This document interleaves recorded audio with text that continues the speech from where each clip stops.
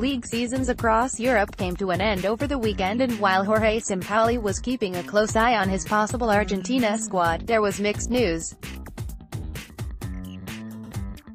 Gabriel Mercado was forced off injured in Sevilla's derby draw with Real Betis and adds to the Argentina manager's concern ahead of the World Cup. Mercado looks likely to be the first choice right back in Russia and so La Albiceleste will hope that the initial reports of it not being serious are correct. Lucas Biglia just back from injury was again forced off for Milan after being caught in the back by compatriot Alejandro Gomez's knee. The midfielder looks set to form a key part of Sampaoli's midfield and after making a speedy recovery from the small fracture suffered some weeks ago, Argentina trust that there has not been a recurrence. However, it wasn't all bad news as Manuel Lanzini finished the season with a brace in West Ham United's 3-1 win over Everton.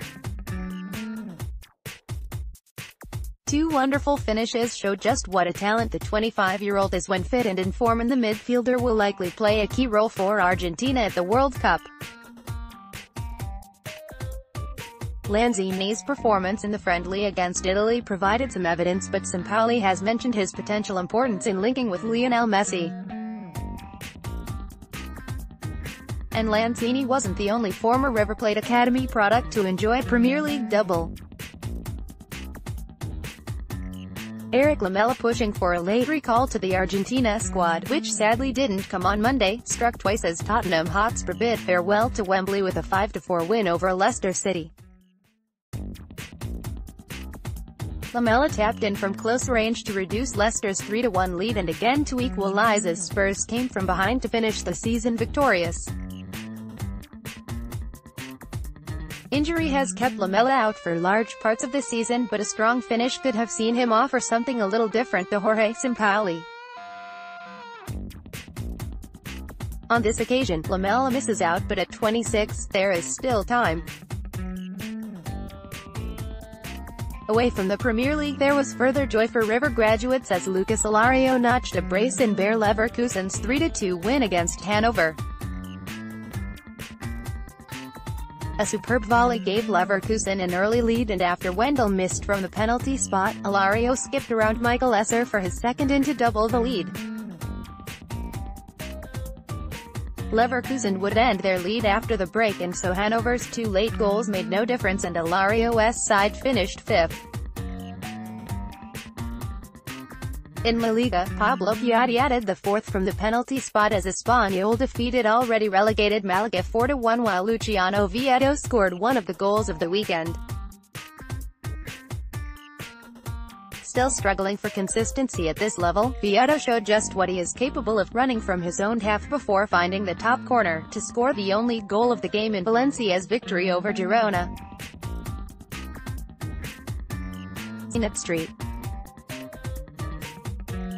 Petersburg's ultimately disappointing season came to an end with a 6-0 win over SKA Khabarovsk and while Sebastian Driussi has had a difficult first season in European football, the young striker produced a goal of the highest quality. Only six minutes were on the clock when Driussi chested down Domenico Criscito and smashed a volley into the net. Emiliano Rigoni and Leandro Paredes were both also playing and with the news that manager Roberto Mancini will be leaving to take the Italy job, it will be interesting to see how Zenit's Argentinian contingent do next season.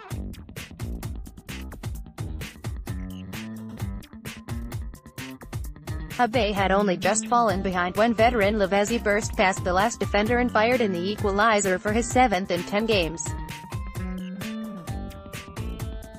And finally in Major League Soccer, MLS, Ezequiel Barco gave Atlanta United a further glimpse of just what they can look forward to with a fine goal in the win over Orlando City. After opening his account last week, the former Independiente playmaker fired a wonderful second with the outside of his boot to help Tata Martino's side to victory. Barco, banger. Collision he's going for back-to-back goals of the week pic.twitter.com slash 5pponh3r Atlanta United FC, at Atled, May 13, 2018 Sebastian Blanco gave Portland Timbers a late win over rivals Seattle Sounders with a neat, tripped finish in the 86th minute. In the 100th meeting between the two clubs, Blanco sealed the points and to celebrate Chucky donned a mask of his namesake from the Child's Play horror franchise. Goal number 5 of 2018 from Blanco was an absolute beauty, smiling face. Urruti's accurate finish from outside the penalty area opened the scoring but it was Diaz's hat-trick of assists that did the damage and ensured Galaxy's comeback proved fruitless. Highlights from a hectic one in Dallas. Twitter.com slash 9LHD82Pay4J, LA Galaxy, at La Galaxy, May 13, 2018.